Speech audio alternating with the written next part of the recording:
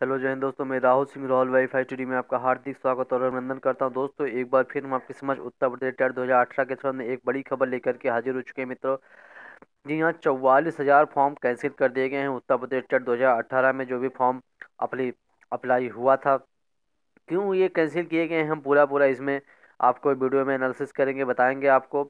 आप अंत तक इस वीडियो को देखिए, खुद ब खुद आपके समझ में आ जाएगा क्यों ये फॉर्म कैंसिल हुआ है। मित्रों, और किस किस का कैंसिल हुआ है कि तो ठीक है मित्रों इससे पहले हम चाहेंगे हमारे चैनल पर जो हमारे मित्रगण पहली बार आए हैं, प्लीज़ हमारे चैनल को सब्सक्राइब कर लें तथा बगल में लगे बेल आइकान के बटन को दबा लीजिए ताकि आने वाली हर छोटी बड़ी सूचना जो कि उत्तर प्रदेश टेट दो हज़ार अठारह से हो, आप तक हम आसानी से पहुँचा सकें। ठीक है मित्रों तो बिना समय का नुकसान किए हुए सीधे हम सूचना की तरफ़ बढ़ लेते हैं, देख लेते हैं क्या वजह है, फॉर्म आपका निरस्त हुआ है, सीधे बढ़ते हैं हम सूचना की तरफ़ मित्रों। ये देख सकते हैं आप, उत्तर प्रदेश टीईटी में चौवालीस हज़ार आवेदन निरस्त। क्या वजह है? देखते हैं। उत्तर प्रदेश शिक्षक पात्रता परीक्षा यूपी टीईटी 2018 के तहत चौवालीस हज़ार एक सौ पैंतीस आवेदन निरस्त कर दिए गए हैं। प्राथमिक स्तर पर चौंतीस हज़ार चार सौ पचपन और उच्च प्राथमिक स्तर पर नौ हज़ार छः सौ अस्सी आवेदनों को निरस्त किया गया है। इन आवेदनों को शैक्षिक अर्हता एवं एक से अधिक आवेदनों के आधार पर निरस्त किया गया है। क्या वजह है? आवेदनों को शैक्षिक अर्हता और एक से अधिक आवेदनों की वजह के नाते इनका फॉर्म कैंसिल किया गया है। परीक्षा के कुल अठारह लाख पच्चीस हज़ार छत्तीस आवेदन है, जैसा कि मित्रों आप लोग जानते होंगे। परीक्षा अठारह नवंबर को प्रस्तावित है, ये भी आपको पता है।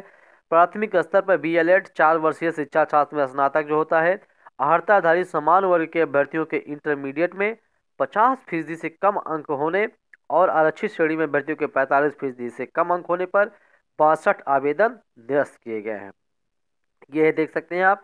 वहीं बीएड के, जी हाँ जो बीएड शिक्षा शास्त्र में स्नातक हैं अर्हताधारी समान वर्ग के अभ्यर्थियों को स्नातक अथवा प्रस्नातक में पैंतालीस फ़ीसदी से कम और अच्छी श्रेणी में अभ्यर्थियों को चालीस फ़ीसदी से कम अंक होने पर चार हज़ार छः सौ छः आवेदन निरस्त किए गए हैं।